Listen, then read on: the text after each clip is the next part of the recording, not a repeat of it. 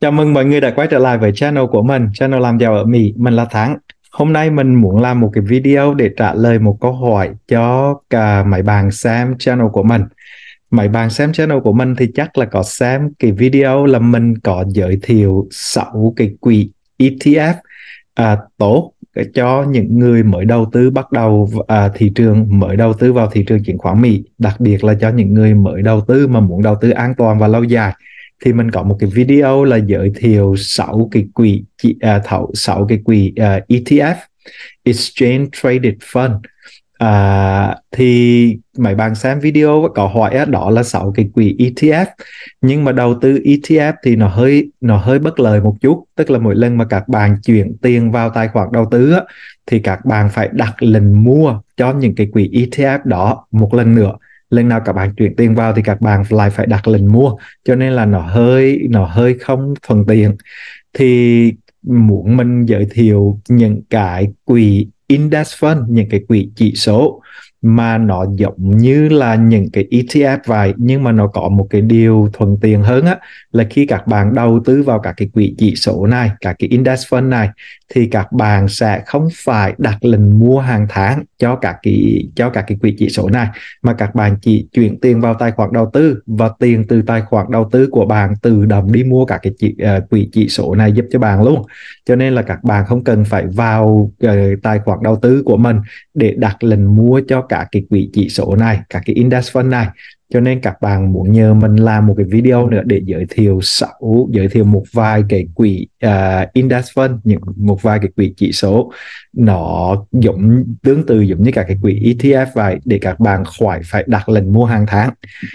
Thì mình hôm nay mình làm cái video đó, uh, này để trả lời các câu hỏi đó và giải thích những cái khác nhau và giống nhau giữa index fund và là ETF à, và cái lợi cái hại cho từng loại luôn. Bởi vì là đúng là cái quỹ chỉ số cái index fund thì nó nó có cái thuận lợi như vậy. Tức là các bạn đã mua lần đầu tiên rồi thì tiền chuyển vào sẽ tự động đi mua cái quỹ chỉ số đó chứ không cần các bạn đặt lệnh mua hàng tháng. ETF thì các bạn lại phải đặt lệnh mua hàng tháng đặc biệt là đối với tài khoản của Vanguard là nơi mà mình có tài khoản và mình hay hướng dẫn cho các bạn làm tài khoản ở Vanguard bởi vì Vanguard thì nó nổi tiếng với là cái cái philosophy cái triết lý là đầu tư an toàn và lâu dài và chi phí rất là thấp. À, nhưng mà nó cũng có những cái sự khác nhau và những cái những cái bất lợi khác giữa quỹ chỉ số index fund hoặc là ETF thì mình muốn làm cái video này để giải thích cụ thể hơn và uh, và cũng giới thiệu cho các bạn các cái quỹ chỉ số index fund. Nó giống như là các cái quỹ ETF nếu như mà các bạn uh, vẫn muốn đầu tư vào các cái index fund hơn là các cái ETF Alright, À, thì đây là cái video mà dành cho những người mới bắt đầu đầu tư vào thị trường chứng khoán Mỹ muốn tìm hiểu hơn à, về các cái quỹ, quỹ chỉ số và các cái ETF và muốn đầu tư vào thị trường chứng khoán Mỹ nhưng mà muốn đầu tư với cái à, với cái triết lý á, là lâu dài và an toàn và đầu tư theo một cái khoảng thời gian dài và đầu tư liên tục. Nếu đây là lần đầu tiên các bạn xem channel của mình thì các bạn nhớ đăng ký kênh để mình có thể gặp nhau hàng ngày channel của mình thì tập trung vào ba chủ đề tăng thu nhập giảm chi phí hướng dẫn đầu tư an toàn và dài hạn à, dài hạn trên thị trường chứng khoán Mỹ. À, và vì sao mà mình tập trung vào đầu tư an toàn và dài hạn trên thị trường chứng khoán Mỹ? Là bởi vì mình nghĩ đó là cái cách hiệu quả nhất và cách an toàn nhất để mình có thể trở nên giàu có hơn ở Mỹ. Đặc biệt là để mình có thể chuẩn bị cho cái cuộc sống của mình lúc về hưu an toàn và thịnh vượng hơn. À, cho nên là là mình tập trung vào cái chuyện đầu tư an toàn và dài hạn à, ở trên thị trường chứng khoán Mỹ là như thế. Alright, nếu đó là những cái chủ đề mà các bạn cũng quan tâm thì các bạn nhớ đăng ký kênh để mình có thể gặp nhau hàng ngày. Ok, bây giờ mình quay trở lại với cái chuyện là quỹ chỉ số index fund hay là quỹ ETF. Thì trước khi mà mình nói về quỹ chỉ số hay là in à, à, à, quỹ chỉ số index fund hay là ETF á, thì mình chắc cũng phải giải thích một chút về cái quỹ mutual fund. À, mutual fund nếu mà các bạn bắt đầu đầu tư thì các bạn sẽ gặp các cái thuật ngữ này. Thì cái mutual fund nó là cái gì? Và nó giống và khác nhau như uh, nó giống và khác nhau uh, đối với các cái uh, index fund là như thế nào. Thì cái này mình muốn mất một uh, giải thích cái này một chút để cho mọi người có thể hiểu rõ luôn. Thì các bạn có thấy ở đây này ở đây ở trên Nerd Wallet nó có một cái bài nào nói là index fund và mutual fund. Những cái sự khác nhau nào là quan trọng nhất đúng không? Thì ở đây mình mình sẽ nói cái tóm tắt ở trên này một chút. Sau đó thì mình sẽ giải thích cụ thể hơn. Thì họ nói là cái điểm khác nhau lớn nhất giữa cái index fund và mutual fund là index fund á, thì nó chỉ đầu tư vào vào những cái index tức là ví dụ S&P 500 là đó là một cái chỉ số một cái index hoặc là chỉ số Dow Jones hoặc là chỉ số công nghệ Nasdaq thì nó chỉ đầu tư vào các cái index thôi. Tức là nó chỉ đầu tư vào những cái uh, cổ phiếu rất là cụ thể. À, và nó chỉ đầu tư theo cả kỳ kỳ kỳ kỳ index đó chứ nó không có ví dụ mình không thể nói là có một cái index fund mà đầu tư vào những cái công ty healthcare lớn. À, thì bởi vì nó không có cái index nào trong trong trong uh, nó không có cái index nào như thế cả đúng không? À, trong khi mutual fund á, là nó là một cái công ty quản lý quỹ. Ví dụ giống như là mình bây giờ mình nói giả sử thôi cái này nó hoàn toàn không là sự thật. Nhưng mà giả sử ví dụ bây giờ mình tự nhận là mình rất là người giỏi đầu tư chứng khoán mỹ mình ra mình lập một cái quỹ à, cái quỹ thẳng trương làm giàu ở mỹ xong rồi mình nói với mọi người á, là cái quỹ này là cái quỹ mutual fund. Và mình chỉ đầu tư vào nắm chục công ty công nghệ lớn và mình sẽ chọn các cái công ty công nghệ lớn để mình đầu tư. Và mình tin chắc về mọi người mình nói chắc chắn về mọi người bởi vì là mình đã làm việc trong lĩnh vực công nghệ 15 năm ở Mỹ cho nên mình rất là biết lĩnh vực công nghệ. Và mình chỉ và mình có tài chọn có tài pick stock là mình có tài chọn các cái cổ phiếu công nghệ lớn và mình chỉ chọn nắm chục cái công ty tốt nhất. Và cứ một tháng như vậy là mình đầu tư 50 công ty, mình bán sau tháng sau mình đầu tư 50 công ty sau mình bán. Thì khi mình lập cái quỹ như vậy và mình kêu gọi kêu gọi các nhà đầu tư bỏ tiền vào, kể cả những nhà đầu tư bạn lẻ ờ, những nhà đầu tư nhỏ lẻ như các bạn, mình nói mua cổ phiếu của cái quỹ của mình đi, đưa tiền cho mình sau rồi mình đi đầu tư vào các cái công ty công nghệ lớn. Cho mình hiểu rất, mình rất là biết công ty công nghệ và mình rất là có tài pick stock và pick đúng thời điểm. Mình mình tham cái stock rất là đúng, lúc lúc mà nó xuống thấp nhất là mình mua. Xong rồi mình vừa mua một cái là tháng sau là nó tăng vọt liền, là mình bán liền. Cái tài của mình là như thế. Thì sau khi đó mình lập cái quỹ mutual fund thẳng trương làm giàu ở Mỹ đấy. Sau mình kêu gọi mọi người đầu tư vào. Thì cái quỹ đó của mình gọi là mutual fund và nó là cái quỹ active cái quỹ mà mình quản lý chủ động rất là active. Mình mua ngày hôm nay mình bán ngày hôm qua mình chọn cổ phiếu này tháng này tháng sau mình chọn cổ phiếu khác. Rồi mình mua bán liên tục như vậy thì nó là một cái active mutual fund đúng không? Trong khi index fund á, thì nó cũng cứu gọi tiền của các nhà đầu tư. Nhưng mà nó nói rất là đơn giản là nó không còn chọn cổ phiếu gì cả. Nó chị đầu tư vào cái index fund 500 S&P 500 thì nó đầu tư hết tất cả các cái cổ phiếu trong cái index đó và nó chỉ mua thôi chứ nó không có bán. Nó mua nó mua và nó cứ mua cái số như vậy nó mua để mà nó theo đuổi theo đụng, theo cái 500 công ty như thế. Ngày nào mà 500 công ty lên thì nó mua giá cao ngày nào 500 công ty giảm thì nó mua giá giảm. Và nó cứ đầu tư lâu dài như vậy và nó không có bán trừ phí mà các bạn bỏ tiền vào đó, các bạn muốn bán thì bán. Còn nó là nó cứ mua đúng theo là 500 cái công ty lớn như vậy. Và nó rất là passive, nó rất là thụ động, nó không có làm nhiều. Bởi vì nó đâu có cần nghiên cứu, đâu có cần research, đâu có cần ta đây là rất là giỏi về picking stock, về time the market. Mình time đúng lúc này mình mua, đúng lúc sau mình bán, như vậy đó. Nó không làm bao nhiêu cái chuyện đó, cho nên mà nó mới gọi là passive. Thì khi mà nó passive như vậy á, thì nó cũng đâu cần nhiều người. Nó cũng đâu cần là nhiều người rồi làm research làm nghiên cứu gì cả. Cho nên là nó cũng có cái chi chi phí rất là thấp. Trong khi mà cái bên cái mutual fund á, thì là bởi vì nó đã nói là nó là người giỏi nhất trong lĩnh vực công nghệ và nó chọn cổ phiếu rất là hay. Mà nó chọn thời điểm mua thời điểm bán cũng rất là hay cho nên nó phải cần nhiều người phải research cần nhiều người nghiên cứu cần nhiều người tìm hiểu.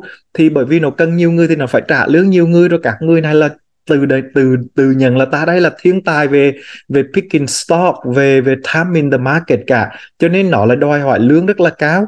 Thì là tất cả những cái đó là tiền ở đâu ra? Là tiền là tính vào cái phí mà các bạn bỏ tiền vào đó đúng không? Thì cái phí của nó thì bây giờ khi mà các bạn mua những cái mutual fund thì cái phí nó nó sẽ rất là cao. Bởi vì những cái những cái mutual fund này là nó active nó mua nó bán để nó để nó cố gắng á, là nó tìm các cái khoản lợi nhuận lớn cho bạn nhưng mà nó mua nó bán như vậy thì nó cần người nó cần thời gian nó cần resources thì nó phải trả cái bàn cái phí cao hơn đúng không? Thì đó là cái điểm lớn cái điểm khác biệt rất là lớn giữa mutual fund và là index fund. Thì nói như vậy để mà kết luận á, là thật ra index fund thì nó cũng là một loài mutual fund. Nhưng mà index fund á, nó nó gom tiền từ tất cả các nhà đầu tư. Nhà đầu tư lớn nhà đầu tư nhỏ nó không quan trọng là nó bỏ tiền vào đây đi nó đi đầu tư cho nhưng mà nó đầu tư á, nó không có làm gì nhiều cả. Nó chỉ mua đúng 500 cái công ty mà thành lập ra cái quỹ chỉ số index này. Nó mua đúng là ba chục cái công ty thành lập ra cái quỹ uh, cái, cái cái cái chỉ số Dow Jones. Và nó mua tất cả các công ty công nghệ mà được tạo thành nên cái cái chỉ số Nasdaq chứ nó không còn cần nghiên cứu không còn cần là là làm màu làm mà làm vả làm chi làm lại cả. Nó không cần làm những cái chuyện đó. Là nó không cần suy nghĩ. Nó cũng chẳng cần nghiên cứu. Nó cũng chẳng chẳng cần research. Những cái công ty nào trong cái index này là nó mua tất cả. Thì nó là một loài mutual fund. Nhưng mà cái mutual fund á, mà khi mà nó nói là index fund thì nó là passive nó thụ động. Và nó đầu tư rất là dễ. Nó đầu tư rất là là là là là là máy móc. Chứ nó không cần suy nghĩ làm làm gì làm nhiều nhiều cả nhưng mà có một cái điều rất là lạ là lịch sử 100 năm vừa rồi đã chứng minh là những cái quỹ index fund mà càng thụ động, càng lười biếng, càng nhạt nhớm càng không có làm cái gì cả, chỉ mua như vậy rồi giữ như thế. Nó lại cho mình một cái khoản lợi nhuận rất là tốt hơn nhiều so với những cái thằng mutual fund mà là ta đây là rất là giỏi về công nghệ, ta đây là rất là thiên tài bẩm sinh về picking stock, về timing the market, mình đọc số này là mình thấy ngay là 10 ngày sau là cái cổ phiếu này nó sẽ tăng gấp đôi cho nên bây giờ phải mua cái cổ phiếu này. Tất cả những cái thằng mà tài giỏi công nghệ tài giỏi mà mà mà làm màu làm mè đủ thứ như vậy á rút cuộc á, trong vòng một cái thời gian 10 năm 20 năm thì cái lợi nhuận của nó cái return của nó không có cái gì cả so với những cái thằng lười biếng và và thụ động bên chỗ cái index fund thì đó là cái sự khác nhau. Đầu tiên, giữa mutual fund và index fund, đúng không? Thì bây giờ bạn biết index fund rồi. Thì bây giờ mình có cái ETF ETF thì cùng tức là nó là một loài nó không phải là mutual fund, nó là e- exchange exchange traded fund.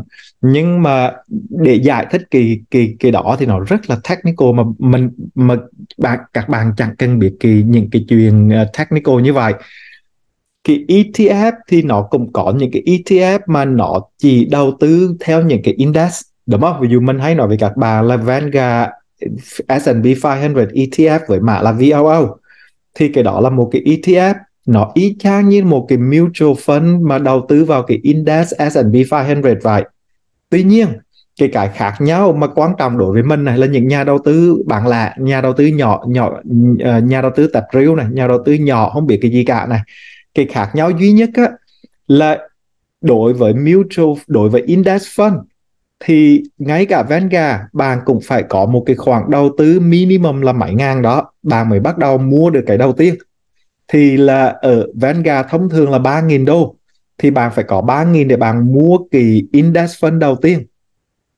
Sau khi bạn mua 3.000 rồi á thì một tuần bạn chuyển vào 10 đồng 20 đồng 30 đồng bạn chuyển vào nó tự động nó đi mua tiếp cái index fund đó cho bạn bao nhiêu cũng được cả. Nhưng mà đầu tiên hết bạn phải có được 3.000 đúng không?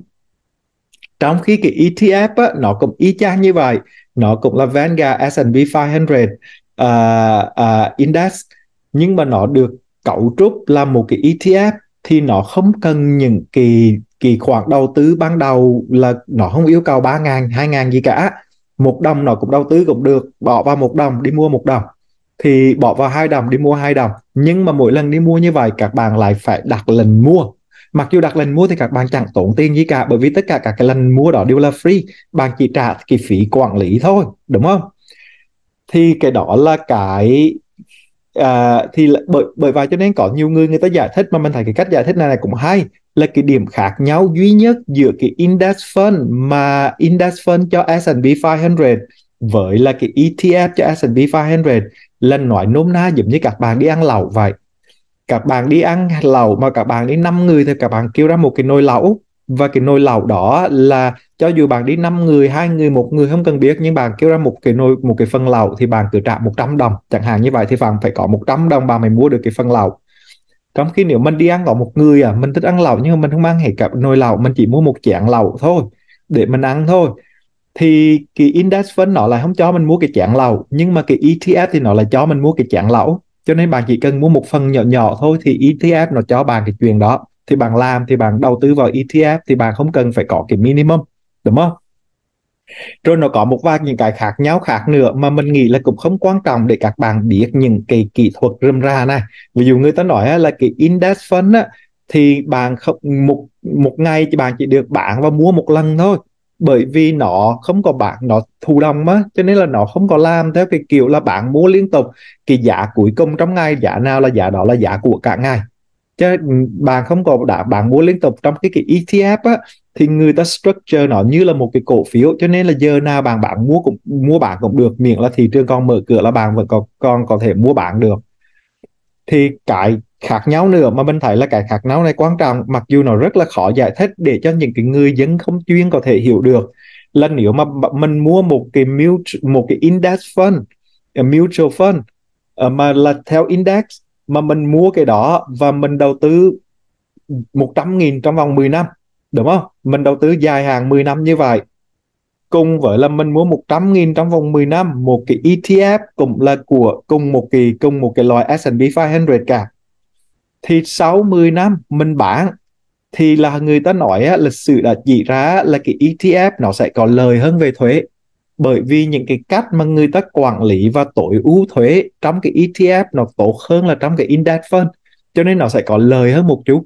Cụ thể nó lời hơn là bao nhiêu thì cũng rất là phức tạp. Mà chứng minh được là nó lời như thế nào thì cũng rất là phức tạp. Cho nên đối với mình là người đầu tư nhỏ lẻ thì mình chỉ cần biết à cái này ETF này mình không cần minimum investment, mình không cần cái khoản đầu tư nhỏ nhất và có lời hơn về thuế. Vậy thôi thì mình cứ đầu tư ETF có cái điều bất lợi là mỗi lần mình chuyển tiền vào mình phải vào tài khoản để mình đặt lệnh mua thì đó là cái bất lợi duy nhất đúng không? Còn nếu mà bây giờ các bạn muốn á, là các bạn vẫn đầu tư index fund thì ở đây mình bắt đầu giới thiệu cho bạn 6 cái index fund mà mình nghĩ là rất là tốt để cho các bạn tham khảo và chọn đầu tư đúng không? Thì các bạn biết rồi mình á, thì mình thích Vanguard cho nên là khi nào mình cũng uh, mình cũng chọn Vanguard cả nó là chi phí thấp thì nếu mà các bạn mới bắt đầu á, thì mình chỉ cho bạn cách để chọn. Bạn chỉ cần gõ vào Google bạn gõ là Vanguard All Mutual Fund. Đúng không? Thì ở đây bạn click vào đấy. Thì ở đây nó cho bạn một cái list tất cả các cái mutual fund ở Vanguard. Thì các bạn thấy ở đây nó có khoảng gần 266 cái mutual fund. Thì trong 266 mutual fund này á, có rất nhiều cái fund của nó là index và những cái fund khác không phải là index. Như bạn thấy cái đầu tiên này là nó index bởi vì nó đầu tư theo 500 index fund at share. Đúng không? Thì nếu mà các bạn click vào trong cái này, bạn thấy là nó có mấy loại nó có mutual fund, nó có ETF và nó có những kỳ những kỳ quỹ đầu tư mà để cho bạn đầu tư theo mục đích giáo dục cho con của bạn. Đi học đại học, đúng không? Cái này mình cũng có làm một cái video để giải thích cái năm 29 này rồi. Thì bạn muốn xem, nếu mà bạn muốn tìm hiểu thêm thì bạn xem cái video năm 29 đó, đúng không? Mình có giới thiệu 6 cái ETF mà mình nghĩ là tốt nhất cho những người bắt đầu mới đầu tư an toàn vào thị trường chứng khoán Mỹ. Thì cái này mình cũng giới, thiệu, giới thiệu rồi. Bây giờ mình giới thiệu cái index fund mutual fund đúng không? Thì ở đây bạn thấy nó có tới 266 cái là thì bây giờ 6 cái mà mình coi là tốt nhất cái đầu tiên là Vanguard 500 Index Fund at Share thì cái này là một cái index fund nhưng mà nó cũng track cho kỳ S&P 500 nó là 500 công ty lớn nhất và cái mã của nó là VFIAX thì bạn thấy á, là cái khoản đầu tư thấp nhất mà người ta yêu cầu là 3.000 đô la để bạn bắt đầu. Và ở đây bạn thấy á, là cái chi phí quản lý của nó chỉ không phải không bốn phần trăm. Cái chi phí quản lý của cái Vanguard S&P 500 ETF với mã là VOO á thì cái chi phí quản lý của nó chỉ là không phải không ba phần trăm. Bên này nó nhỉnh hơn một chút nhưng mà thật ra không phải không một phần trăm thì không còn nhiều không phải không bốn phần trăm có nghĩa rằng nếu bạn đầu tư một nếu bạn mua 100 đồng tiền xe này sau một năm bạn trả cho Vanguard 4 sen mỗi một năm bạn trả cho Vanguard 4 sen cái tiền quản lý của nó đúng không? Thì đó là cái S&P 500 thì đó là cái cái cái cái uh, cái phí quản lý. Ở đây bạn thấy người ta nhắc lại là cái minimum investment là 3.000 đúng không? Chi phí quản lý là 0,04% đấy là cái phần quan trọng nhất cái performance của nó thì cái quỹ này nó được thành lập vào năm 2000 từ năm 2000 đến giờ là 23 năm thì trung bình mỗi năm nó cho bà một cái return là 7.45% 23 năm đúng không? Từ đầu năm đến giờ thì nó cho bà một cái tỷ lệ return là 18.7% khá là cao đúng không? Trong 10 năm thì nó cho bà một cái khoản lợi nhuận là 12,20 12,77% mỗi năm đúng không? Thì cái đấy nó có hết tất cả các cái thông tin này để bạn tham khảo thì đó là kỳ kỳ performance. Bây giờ mình đi tiếp cho bạn một cái nữa là số cổ phiếu. Thì cái này nó là 500 công ty đúng không? Nó là S&P 500 thì bạn cũng biết là nó sẽ có 500 thì ở đây nó có 506 bởi vì mỗi năm thì nó có thêm một công ty bởi một công ty. Thì cái số này trung bình là khoảng 500 thì bạn thấy bây giờ cái quỹ này nó đang đầu tư vào 506 công ty trên toàn uh, trên trên thị trường chứng khoán. Và đây là 506 công ty lớn nhất đúng không? Vừa rồi đợt vừa rồi thì các bạn thấy là Airbnb là cái công ty mới nhất được cho vào cái, cái chỉ số S&P 500 này. Và khi mà nó cho vào Airbnb được cho vào cái chỉ số S&P 500 này là cũng là một cái dấu hiệu rất là tốt cho Airbnb và cổ phiếu của nó cũng tăng bởi vì như vậy. Thì bạn thấy ở đây nó cũng nói cho bạn biết á, là 506 công ty đó là thuộc những cái nhóm ngành hàng nào. Thì ở đây bạn nó nói là communication này là à, 8,7% này uh, consumer discretionary này consumer staple này and energy financial healthcare informational technology bạn thấy nó chiếm tới 28,1% này đúng không? Thì nó cho bạn biết tất cả những cái thành phần nó cũng cho bạn biết luôn 10 cái công ty lớn nhất. Ở đây nó cho nó bạn muốn xem hết tất cả các công ty trong cái list này cũng có thể được luôn đúng không? Ờ, nhưng mà 10 công ty 10 công ty lớn nhất là Apple Microsoft Amazon Nvidia Alphabet. Alphabet, Tesla, Facebook, Berkshire, Exxon Mobil. thì bạn thấy nó liệt kê hết cho tất cả các bạn đúng không? Và đây là những cái ngày mà nó trả dividend này đúng không? Bởi vì những cái công ty này nó trả dividend thì cái quỹ này cũng phải trả dividend đúng không? À, gì nữa? Đó thì đó là những cái thông tin chính của cái này. Và khi mà bạn, lần đầu tiên bạn mua cái quỹ index này từ tài khoản đầu tư của bạn bạn phải mua 3 ngàn để bạn có thể mua được. Sau khi bạn mua được 3 ngàn đầu tiên rồi á, thì đến khi mà bạn set up cái automatic investment á, thì khi mà bạn chọn cái automatic investment và bạn chọn là một tuần bạn muốn đầu tư 200 đô từ tài khoản ngân hàng của bạn chuyển vào tài khoản nào của Vanguard thì bạn sẽ thấy là nó sẽ cho bạn chuyển vào kỳ kỳ tài quỹ quỹ này luôn VFIAX luôn. Thì đến khi mà bạn đã khi mà bạn chọn để set up cái automatic investment á, thì từ đâu là từ tài khoản ngân hàng của bạn, đến đâu là đến cái quỹ này. Đúng không? Thì bạn cứ chuyển thẳng một tháng, một tuần, một tháng 200 đô hoặc là một tuần 10 đô 15 đô. Thì tất cả tiền của bạn chuyển thẳng luôn vào cái quỹ này, thì bạn không cần phải đặt lần gì nữa cả vậy thôi. Còn khi mà nếu mà bạn không đầu tư vào cái index fund mà bạn đầu tư vào cái ETF của nó tức là VOO thì nó không cho bạn cái option đó là chọn chuyển tiền vào VOO luôn. Nó không có cái option đó mà bạn phải chuyển tiền vào market account của uh, cái tài khoản đầu tư của bạn. Xong rồi tiền khi mà nó vào cái market account rồi á thì bạn mới vào bạc đặt đặt lệnh mua cho cái VOO còn nếu mà bạn đã có cái cái cái index fund này ban đầu rồi thì bạn chuyển thẳng vào đây luôn đúng không? Thì đó là cái thứ nhất. 500 cái thứ hai thì chắc các bạn cũng biết là mình thích cái nào rồi đúng không? Mình ờ, uh, 500 là cái mình thích nhất. Cái thứ hai là Vanguard Informational Technology Index Fund at Myroshare. thì cái này nếu mà ETF thì nó có mã là VCD còn cái này là index còn cái này là mutual uh, index fund thì nó có mã là VITAX nhưng mà ở đây nó rất là khó đầu tư bởi vì để mà mua được cái cổ phiếu này á để mà đầu tư được vào cái quỹ này là bạn phải bắt đầu với 100.000 đô la lần. Cho nên là mình không đầu tư được vào cái này mà mình nghĩ là chắc cũng rất là ít bạn có được 100.000 đô la từ ban đầu để đầu tư vào cái này đúng không? Thì trong này nó cũng giống như ở bên kia vậy và cái chi phí quản lý của nó là 0,1% thì cũng khá là cao so với 0,03 và 0,04 đúng không? Nhưng mà được cái là từ lúc nó thành lập từ năm 2004 giờ cái cái return của nó là 13,43% và trong năm này là return của nó gần 40%. trong 10 năm qua thì return của nó là 20,45% nhưng mà thật ra cái VOO nó cũng return giống y chang như vậy gần như là là là là là, là bằng luôn. Để bây giờ mình đẩy cho bằng cái VOO Vanguard để cho mình chỉ cho các bạn thấy là mình các bạn sẽ thấy là nó nó rất là giống nhau. Ví dụ VOO là Vanguard à, sorry VGT đúng không? Thì VGT là Vanguard Informational Technology ETF thì nó tương đương với là cái Vanguard Informational Informational Information Technology Index Fund đúng không? Hai cái đó nó tương đương với nhau. Thì ở đây các bạn thấy cái return của nó cũng gần gần như vậy lúc nãy là year to date trong năm này cái quỹ này nó trả là nó cho lại return là 39,78% thì cái này nó cũng là 39,86% nó nhỉnh hơn chút nữa đúng không? Trong 10 năm vừa rồi thì nó cho là 20,44% thì bên này nó cũng cho là 20,45% và bên này nó cho 12,7% từ lúc nó thành lập đến giờ. Nhưng mà từ lúc nó thành lập cái VTF, ETF là nó từ năm 2004 trong khi mà cái bên này á, là nó cũng từ năm 2004 thì nó là 13,43% thì bạn thấy nó rất là giống nhau không có gì khác nhau cả.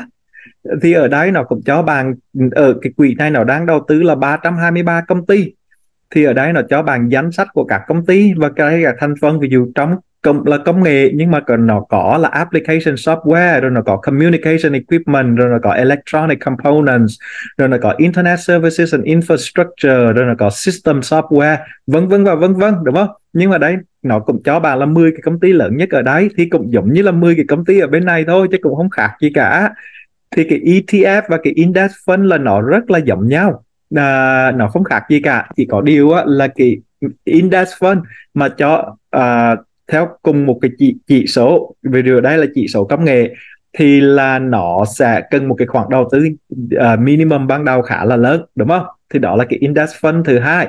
Bây giờ mình cho bạn một cái index fund thứ ba là Vanguard Total Stock Market Index Fund at Share.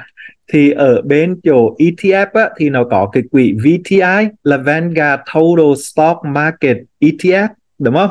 Thì ở đây nó là Total Stock Market Index Fund thì ở đây cái minimum của nó là chỉ 3.000 và cái expense ratio của nó là 0.04 trong khi cái ETF expense ratio của nó là 0.03 thì nó cũng giống nhau như thế thôi.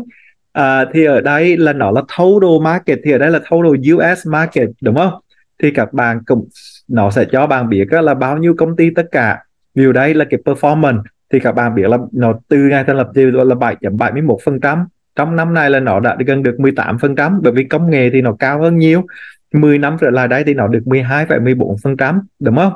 Và ở đây là cái, cái portfolio nó đầu tư vào tất cả là 3.861 công ty uh, ở trên thị trường chứng khoán Mỹ đúng không? Và dưới này thì nó cho bạn tất cả các cái industry từ là energy, financial, real estate, technology, info, telecommunication. Thì thì tất cả và đấy nó cũng cho bạn cái list của các công ty mà nó đầu tư. Thì ở đây bạn nếu bạn muốn xem thì các bạn cũng có thể xem được là cả 3.803 công ty này là những công ty gì đúng không? Thì đó là cái thứ ba, là mình index thì cái này cũng như vậy. Nếu bạn có 3.000 đầu tiên, bạn hàng mua cái này, sau đó bạn chọn chuyển tiền vào hàng tuần. Thì bạn chọn chuyển tiền vào hàng tháng, hàng tuần, hàng hai tuần gì đó tùy bạn. Thì khi mà chuyển từ đó là từ tài khoản của bạn, đến đó là đến cái quỹ này, thì khi mà tiền vào đây thì nó tự động vào trong cái quỹ này luôn, bạn không cần đặt lệnh gì nữa cả, đúng không? Cái đó là cái thứ ba. Cái thứ tư thì là mình lúc nào là total US stock market, thì nó cũng có một cái quỹ index fund đó là total international stock market với mã là VTIAX đúng không? Thì cái này nó cũng có, cái này là nó là international stock market, thì ở đây các bạn sẽ thấy là nó nói là this fund offer investor một cái low cost way để gain equity exposure for both developed and emerging market uh, in international economy. Thì cái này nó không có US bởi vì lúc nãy mình có cái này là có US tất cả US rồi. Còn cái này là tất cả cả kỳ thị trường chứng khoán trên toàn thế giới trừ nước Mỹ ra thì nó cũng đòi hỏi bạn là phải có 3.000 và uh, cái chi phí quản lý của nó là khoảng 0,11% expense ratio của nó đúng không? Và đây ở international thì bạn các bạn thấy là cái mức return nó sẽ thấp hơn là ở US đúng không? Nhưng mà cái này nó sẽ tốt cho cái chiến lược là diversify balance uh, cân bằng lại cái rủi ro của bạn. Bởi vì có những cái trường hợp đó là US stock nó rớt mà international stock nó lên thì là cái này mình có cái này thì mình sẽ có lời hơn đúng không? Trong 10 năm vừa rồi á thì là US stock nó có vẻ đầu tư rất là tốt. Cho nên bạn thấy 10 năm vừa rồi là US nó cho bạn khoảng 12 13% trong khi international nó chỉ cho bạn khoảng là 4,68% mỗi năm thôi. Từ đầu năm đến giờ thì US cho bạn gần 20% trong khi international chỉ cho bạn khoảng 80 8.65 64% thôi tuy nhiên á, là cái này nó tốt để cho mình cân bằng cái rủi ro động lực. Một lúc nào đó mà US nó không tốt mà international Trung Quốc in, Russia Việt Nam Brazil nó tốt hơn thì mình có cái mình bu qua uh, bu qua bu lái đúng không? Mình tham quả cho tất cả US á, thì nếu mà US nó rớt mà international nó lên thì là mình mình lại mất đúng không? Mình giới thiệu cho bạn thêm một cái quỹ nữa. Thì cái này á, nó là Vanguard Total World Stock Market uh, Total World Stock Index Fund at MicroShare thì cái này á nó lúc nãy là mình cho bạn một cái là Total US Stock và một cái là Total uh, International Stock đúng không? Để mình quay lại mình mình quên nhắc các bạn cái này. Trong cái mà international á, total international thì bạn các bạn thấy á, là trong cái quỹ này nó đầu tư 7.989 cái công ty trên trên toàn cầu. 7.989 cái công ty. Thì nếu mà 10 công ty có rớt thì cũng không sao bởi vì con có Ờ, uh, con có 7.979 công ty nào nó vẫn tốt. Kể cả 1.000 công ty nào rớt thì cũng chưa chưa sao cả bởi vì vẫn còn 6.900 công ty nào nó nó tốt đúng không? Thì cái mức độ rủi ro nó sẽ rất là thấp. Thì ở đây các bạn nó cũng cho mình biết là các cái công ty lớn nhất ở đây nếu mà các bạn muốn xem cái list của 7.965 công ty thì bạn vẫn có thể xem được. Còn đấy là cho bạn 10 cái công ty lớn nhất. Ví dụ Taiwan Semiconductor là công ty lớn nhất. Nestle uh, Novo Nordisk uh, à, ASML Holding Tencent là của Trung Quốc Samsung Electronics là của Hàn Quốc à, LMV à, LVMH là cái công ty uh, LV Louis Vuitton này nó tất cả những cái đồ xa xỉ phẩm là ở đấy. Công ty này nó ở Pháp ở Paris đúng không? Shell thì là cái tập đoàn dầu mỏ lớn nhất của Hàn Quốc. Toyota là công ty tôi công ty xe hơi lớn thì nhi ở ở trên thế giới mình là nằm ở Nhật. Rose thì là của Thụy Sĩ công ty dược ở Thụy Sĩ. Bạn thấy thì đấy tất cả những công ty này là công ty lớn nhất trên quốc tế đúng không? Thì bây giờ nếu mà bạn không muốn đầu tư vào cả US rồi cả à, rồi cả à, uh, uh, international thì bạn có thể chọn cái quỹ index fund cho the total worth. Thì cái này nó cả US lẫn international nó với mã là VTWAH và cái này nó cũng thấp nhất là 3.000 để bắt đầu mua nó. Sau khi đó thì tiền bao nhiêu vào thì chuyển thẳng vào cái, cái quỹ này và cái chi phí quản lý của nó là 0,1% đúng không? Thì bạn thấy ở đây bởi vì nó là worth nó tổng cộng lại cả US lẫn international luôn thì cái return của nó nó cũng là dựa dựa cả hai. Bạn thấy năm nay á, thì nó cho khoảng 14% trong khi mà US á, thì cho khoảng được 19% còn The Worth á, thì là cho khoảng được 7% thì bạn thấy cái này nó có cả hai cái luôn cho nên là cho bạn kiệt số giữa giữa khoảng 14,3% và cái quỹ này nó mới được thành lập từ năm 2019 cho nên nó chưa có số liệu cho 10 năm và cũng chưa có số liệu cho cho là 5 năm đúng không? À, và ở đây là danh mục của các công ty qua nào đầu tư vào bao nhiêu công ty đây? Thì ở đây bạn thấy nó đầu tư tất cả là 9.570 công ty. Cái này là cả US lẫn thế giới. Trong khi mà trên thế giới á thì nó đầu tư 7.989 công ty. Mà đến khi cả US nữa thì nó thêm vào là 9.570 đúng không? Và đây các bạn sẽ có cái danh sách của những cái công ty lớn nhất. Nhưng mà các bạn thấy 10 công ty lớn nhất này là toàn của US cả. À, bởi vì US ở Mỹ là cả công ty Mỹ là cũng rất là lớn nhất đúng không? Nhưng mà sau khi mình qua đến 12 công ty tiếp theo á, thì bắt đầu mình đã thấy là có công ty của Taiwan rồi đấy đúng không? Taiwan Semiconductor mình qua thêm 10 công ty à, nữa thì mình sẽ bắt đầu thấy Samsung là của Hàn Quốc đúng không? Self là của à, à, Hà Lan và LM LVMH là của Pháp Toyota là của Nhật đúng không? Thì đây là nó nó, nó là tất cả các cái công ty lớn nhất trên toàn cầu. Và nó đầu tư vào ở đây là đến 9 ngàn mấy chục công ty 9.570 công ty thì cái mức độ rủi ro nó sẽ rất là ổn đúng không Alright và cái cuối cùng thì mình muốn giới thiệu là bởi vì mình chưa giới thiệu một cái một cái một cái quỹ nào mà đầu tư vào trái phiếu cả. Mà gần đây mình thấy có một vài bạn bắt đầu hỏi mình về trái phiếu và cổ phiếu. Mình sẽ làm một video để giải thích cái chuyện khi nào thì đầu tư vào trái phiếu, khi nào rồi đầu tư vào cổ phiếu. Nhưng mà trong cái video này thì mình cũng muốn giới thiệu một cái index fund mà nó đầu tư vào tất cả các cái trái phiếu ở trên thị trường. Cái này nó gọi là total bond market index fund thì nó cũng có. Với minimum là chừng này và cái chi phí quản lý của nó là chỉ không phải không năm phần trăm.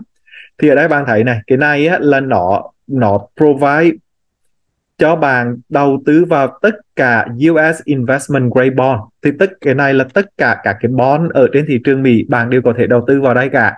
Thì bạn sẽ thấy á, là nó kỳ kỳ kỳ return của nó rất là rất là thấp đúng không? Ví dụ từ lúc nào thành lập chỉ chỉ là 3,11 phần trăm, year to date của nó là chỉ 1,6 phần trăm thôi. Bởi vì bond năm nay thì không có tốt lắm, nhưng mà thật ra là nó bởi vì bạn đầu tư vào trái phiếu thì bạn phải biết á, là cái return của bạn sẽ rất là thấp nhưng mà sao bởi vì nó return nó thấp cho nên là khi mà thị trường rớt thì nó cũng không có rớt nhiều thì khi đó nếu mà bạn cân bán để bạn lấy tiền tiêu thì bạn bán bond bởi vì bạn không có mất nhiều đừng có bán stock khi mà thị trường nó đang rớt thì lý do mà mình phải đầu tư vào bond là lúc mà mình nghĩ là mình cần phải bắt đầu rút tiền ra, hoặc là còn 5 năm nữa là mình phải bắt đầu rút tiền ra thì mình bắt đầu chuyển tiền từ từ qua bond. Để mà thị trường nào rỡ thì bạn không cần phải bán stock, đúng không? Mình sẽ giải thích nhiều nhiều hơn, nhưng mà cái quỹ này á, nó đầu tư vào 10.591 loại trái phiếu có mặt ở trên thị trường đúng không? Thì nó là tập hợp tất cả các trái phiếu. Thì ở đây bạn thấy là nó có tất cả các cái trái phiếu đơn giản đây 10.172 trái phiếu. Và bạn có thể xem rõ mỗi loại trái phiếu ở trên này là như thế nào. Đúng không? Thì đó là 6 cái quỹ uh, index fund. Uh, tất cả điều kiểu của Vanguard. Bởi vì mình rất là thích Vanguard với là cái chi phí thấp của nó và tính đầu tư lâu dài và an toàn của nó các bạn hoàn toàn có thể tìm những cái quỹ tương tự như vậy của Fidelity. Và mình nghĩ Fidelity cũng là một cái công ty rất là tốt. Chỉ một điều mình không thích ở Fidelity á, là người ta không có cái tư duy low cost. Người ta không có cái tư duy á, là là chi phí thấp. Vanguard là quỹ nào của họ cũng chi phí thấp cả. Trong khi Fidel, Fidelity là chỉ có một vài quỹ là có chi phí thấp. Ví dụ mình biết nó có một cái quỹ là Fidelity Total Stock thì cái đó là có zero chi phí, không tính đồng tiền phí nào luôn. Nhưng mà nó chỉ có một, hai cái cái chi phí thấp thôi. Còn lại tất cả những cái còn lại thì chi phí của nó khá là cao. Nó giống như là bạn đi Walmart hoặc là bạn đi Costco là cái gì nó cũng giá rẻ cả, đúng không? Trong khi ví dụ bạn đi Safeway chẳng hạn thì cái gì nó cũng mắc, nhưng mà nó bằng nước cho bạn rất là rẻ để nó muốn bạn tới đó mua nước xong rồi mua những cái thứ khác thì Fidelity đối với mình cũng giống như vậy, cho nên mình không có thích lắm. Nhưng mà nó cũng là một cái công ty rất là an toàn và lâu dài. Alright hy vọng là các bạn à, thấy cái video này useful và để cho các bạn hiểu thêm về mutual fund là như thế nào, index fund là như thế nào ETF là ra làm sao. Khi các bạn đầu tư an toàn và lâu dài thì các bạn thường tập trung vào những cái yếu tố nào? Yếu tố nào là quan trọng, yếu tố nào là không quan trọng? Khi nào thì nên đầu tư ETF khi nào thì nên đầu tư index fund?